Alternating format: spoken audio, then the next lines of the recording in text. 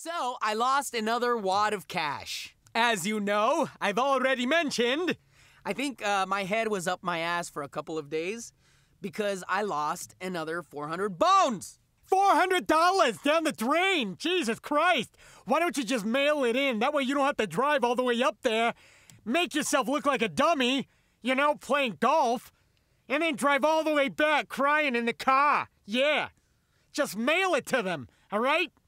That's actually not a bad idea. I think I was a little irritated, a little frustrated. You could probably hear it in the vlog about Brentwood. And I've decided, I have decided, I'm gonna kick back and not compete for a little bit.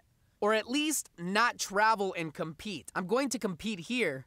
I think I was putting too much energy, effort, and time and resources when I haven't gained enough experience. I think I need a lot more learning because I don't think it's a lack of ability. I know it's not that, it's not a lack of drive, it's just a lack of experience. I'm not calming myself down when I need to calm down when I need to chill out and say, whoa, whoa, take it easy now, boy. Yeah, so I need to relax and take some time for me mentally. I need to take some time.